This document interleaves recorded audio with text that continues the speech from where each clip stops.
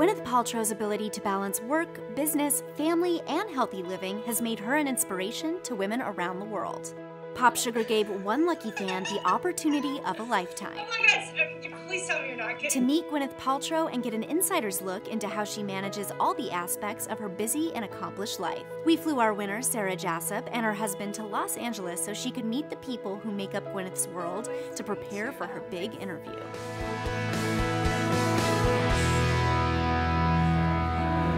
Holy cow, hi! No, no, no, okay, I'm. Oh, you No. started to. I didn't even cry. Okay, I'm good, I'm good. Holy cow. Okay, well, I'm crying.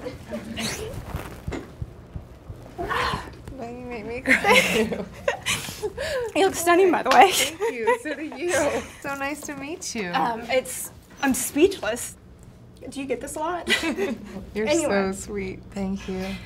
I'm from San Antonio, Texas. I don't know if they told you that, but um, I have my own business there and looking forward to having children. So, on that note, from having a career and children, and um, what would be the best piece of advice, looking back on it, that you could give to, to have it all and do it all well? And Yeah, that's a good question. It's been, you know, it's I sort of feel like the the real answer for me was that I couldn't do it all at the same time.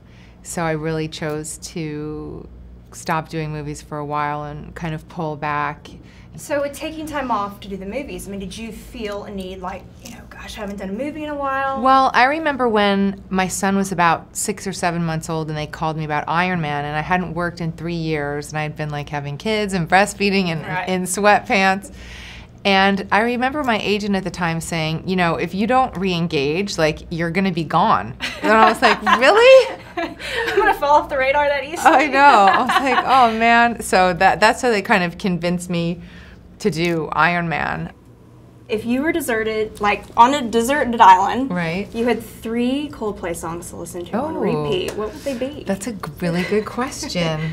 one would have to be a new one that's coming out on his next album, and probably Charlie Brown from his last one, and maybe one called Strawberry Swing. you and Chris are very talented, individually very creative in your own right. Right. Do you bounce ideas off of him? I know my husband and I are kind of like, what do you think of this? What do you think of that? Like, do y'all have those conversations? You know? Yeah, very much so. We definitely use each other as a sounding board because that's such an important part of the friendship part of a relationship, and I think that's kind of the point in being married, like having that person you can go to and break it down with.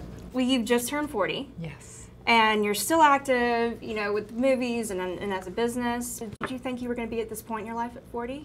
I don't know. It's weird. I've never like planned ahead or said I want to do that. Like I've never. I feel like I've never set a goal, and Yeah. you know, I've just sort of let things organically. Manifest. Yeah, like Yeah. like I'll have a feeling about something and I'll just kind of follow it. And the only thing that I knew that I wanted to have at 40 was kids, Yeah. and I feel so lucky that I have them. That you have them. Yeah. So with that in store, do you think that, you know, maybe what the next 10 years has? I'm really enjoying doing my website and my ancillary businesses. I really love it. Your style is something that I just like hope to even have an ounce of in my life. What are your You favorite? great style. Fa- well, Are those Stella McCartney shoes? Oh yes, yes. Great. It's I, I would go to Starbucks in my sweatpants and these shoes, like in a heartbeat. They're really good, aren't they? They are. They uh, they're empowering. Yeah, they are. What are your favorite pair of shoes? I have so many shoes. Uh, What do you go to then to help like during the day? well, when we're in London, then it's, you know, like a boot of some kind because it's freezing cold. I always think it's really interesting to look at people's shoes and because it's it so determines your state of mind in Yeah. a way as a woman, like what what's on your feet. What- Well, I wanted to give you something, and Oh. um, from my store, I kind of thought of, God, what do you give the woman? Probably has it all. Um, so this is my kind of act of gratitude for being. Oh, thank you. Thank you. Just got touched up. um, anyway, my kind of act of you. gratitude um, for being such an inspiration. Is this the name of your store? Yes. Are you an Aquarius? Yes. So is my mother. Can I open it now? Wonderful. Yes. Restore credit or exchange. gosh. bring it back. No, I love that. That's amazing. that is so beautiful. What is that, Lizzie? Fortunato. Lizzie Fortunato. That is really chic. That's Thanks. amazing. Thank you so much. Well, I hope this you makes me enjoy want to go to your store. Well, if you ever come down to San Antonio, I'll treat you to a good margarita. okay, that sounds great. I just want to get one quick picture. Oh, thank you. Thank So you. nice to meet you. So nice Have to a meet safe you. trip back. Thanks. Have a great rest of the day. Thank you. I will. Bye, guys. Thank you so much. I love my bag. Good. Wow.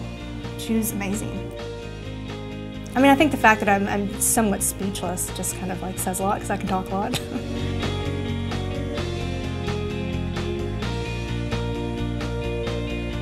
if anybody has an opportunity to meet somebody that they truly admire and are inspired by, God, I hope they get to meet them.